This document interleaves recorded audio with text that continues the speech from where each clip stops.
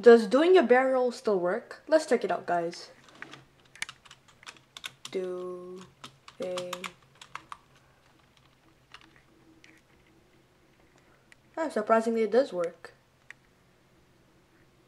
Epic.